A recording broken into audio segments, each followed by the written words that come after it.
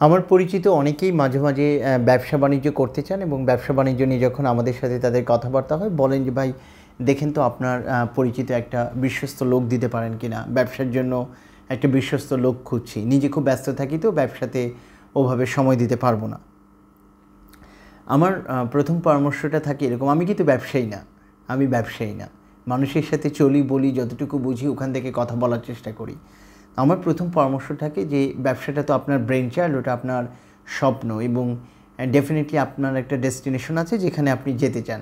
এই গাড়িটা আপনি নিজে মানে ব্যবসাটা যদি একটা গাড়ি হয়, নিজেরটা যতটুকু পারেন, নিজে ড্রাইভ করার চেষ্টা করেন। মানে বিশ্বস্ত লোক বা অন্য কারও হাতে এটা দিয়ে আপনার স্বপ্নের সাথে বা আপনার ভিশনের সাথে বিজনেসটাকে অ্যালাইনমেন্টে রাখা ভেরি ডিফিকাল্ট খুবই কঠিন।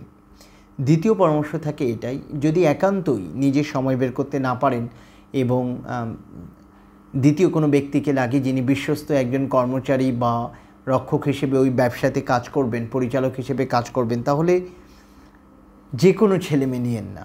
অনেকেই একটা জিনিস মনে করেন যে কম টাকাতে একটা ছেলে বা মেয়েকে নেবেন যিনি বিশ্বস্ত হবে হবে না, কোনোভাবেই হবেন না। বিশ্বস্ততা মানে তো শুধু টাকা পয়সার বিশ্বস্ততা না, কাজে কর্মে, তার ডেডিকেশনে কমিটমেন্টে ব্যবসা থেকে চালিয়ে নেওয়ার জন্য তার মেধাবৃত্তিক বিনিয়োগ সব কিছুতে তাকে বিশ্বস্ত হতে হবে। অর্থাৎ মালিক ব্যবসাটাকে যেভাবে আগলে রেখে সামনের দিকে নিয়ে যেতে চায়, ওই একই ফিলোসফি একই মূল্যবোধ, একই তাড়না থেকে ওই কেয়ারটেকার ওই মানুষটা বা ওই ডিরেক্টরকেও কাজ করতে হবে। এরকম মানুষকে কি আপনি কম বেতনে পাবেন? যে মানুষটা মার্কেটে বসে আছে, কাজ পাচ্ছে না। এই মানুষটাকে যখন আপনার ব্যবসাতে কম টাকা দিয়ে আপনি রাখবেন, আপনি কি আশা করেন তার কাছ থেকে এই এই ফাইনার কোয়ালিটিটা আপনি পাবেন। কীভাবে এটা আমরা আশা করতে পারি? ধরুন, আপনি মার্কেটে কাকে লেজি অবস্থায় পাবেন? যে মানুষটা তার স্কুল কলেজ এবং ইউনিভার্সিটি জীবনে ঠিকঠাক মতো পড়াশোনা করেনি বা করলেও পড়াশোনাকে ঠিক সেভাবে সে মূল্যায়ন করতে পারেনি। যে মানুষটা চাকরির জন্য বা নিজের জীবনে দাঁড়ানোর জন্য অতটা এফোর্ট দেয়নি।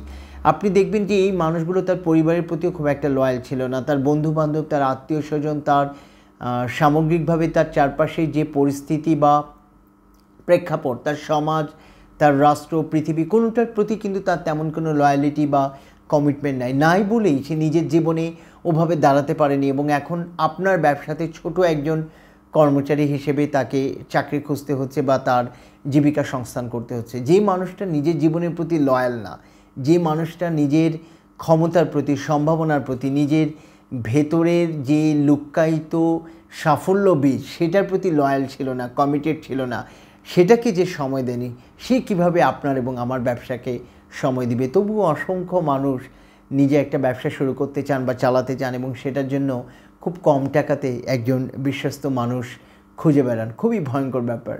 আমরা বিল্ডিংগুলোতে যখন, শুধু ব্যবসা না, আমরা প্রায় ক্ষেত্রে এটা দেখি যে আপনার কোটি কোটি টাকার মালপত্র যে ফ্ল্যাটটাতে রাখা আছে, সেটা পাহারা দেওয়ার জন্য আপনি পাঁচ হাজার টাকা দামের একজন সিকিউরিটি স্টাফকে খুঁজে বেড়ান এবং বিশ্বাস করেন যে এই সিকিউরিটি স্টাফ আপনার সম্পদটাকে রক্ষা করবে। আপনি যদি আপনার জীবন রক্ষার জন্য, অমূল্য জীবন রক্ষার জন্য বডিগার্ডও রাখেন, তাকে স্মার্টলি পে করেন।